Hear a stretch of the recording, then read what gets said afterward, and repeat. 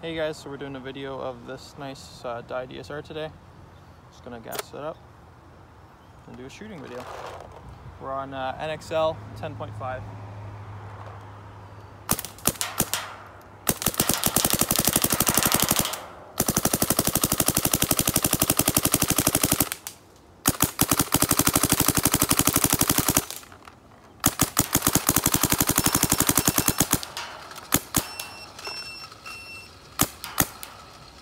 Okay guys, so I'm going to swap the uh, stock bolt out for the soft tip here and the upgraded can.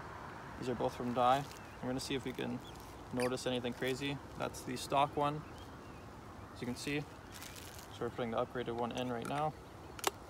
We're to see if we notice a difference in the shot quality. I'll just put this in the Ziploc bag so I don't get grease all over my freaking pants. Okay, so let's air it up. And some more balls from that video. Okay. See how this one feels.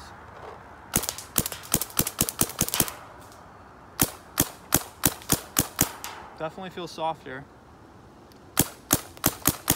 And a little bit quieter, to be honest.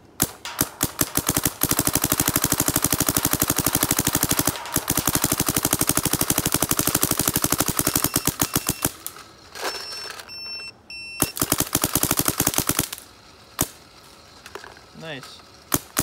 Yeah, hope you guys enjoyed the video. That's the uh, Dye DSR with the uh, stock bolt and the upgraded bolt. Later.